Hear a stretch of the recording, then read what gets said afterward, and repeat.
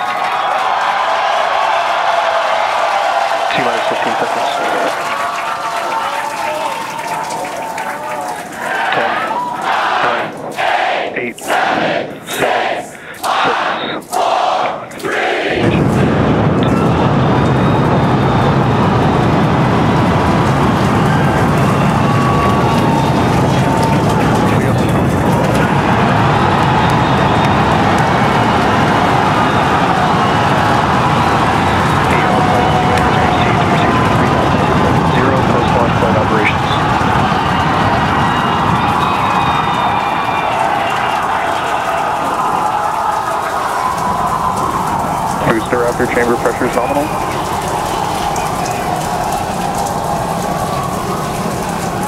Plus 43 seconds into the test flight of the inaugural Starship vehicle. Tower cleared, we're into pitch over. Propulsion reports first stage engines nominal. What a sight from the ground cameras at Starbase. Nominal. You can get We're flying at twice the thrust of the Saturn V heading to space. Of signal, Corpus Christi. We're throttled down and throttled back up. Going through the period of maximum aerodynamic pressure.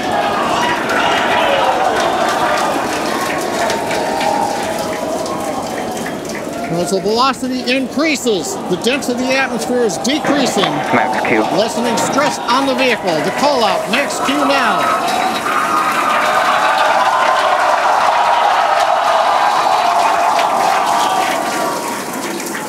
Continuing to watch the first stage as we head down range.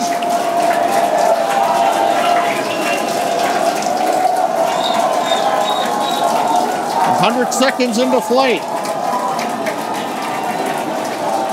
Our next major activity is going to be shutdown of the first stage.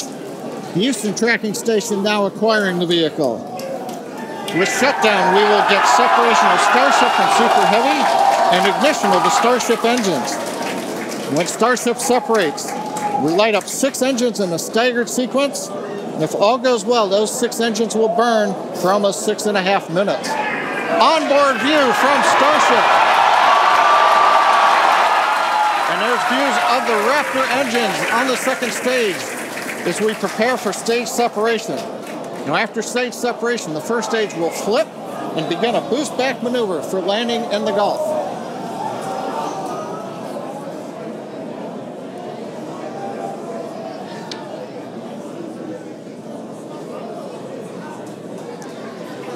Continuing to fly, 2 minutes 40 seconds. Let's get ready for main engine cutoff.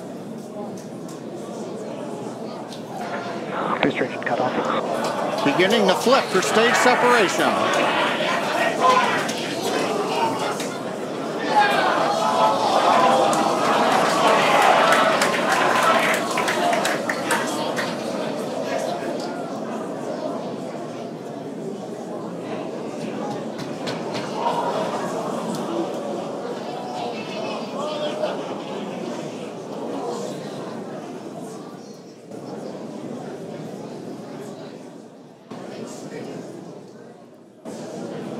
As of right now, we are awaiting stage separation,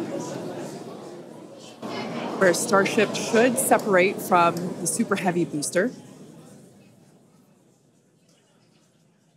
Yeah, Kate, right now it looks like we saw the start of the flip, but obviously we're seeing from the ground cameras the entire Starship stack continuing to rotate. We should have had separation by now.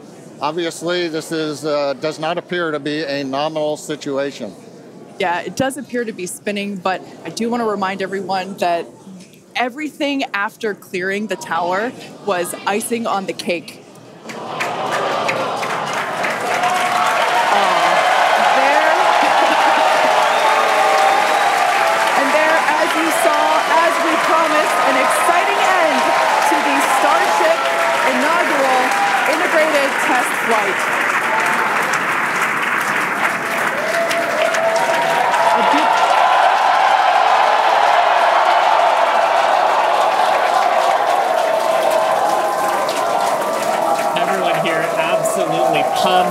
To clear the pad and make it this far into the test flight, the first integrated flight of the booster and the Starship vehicle.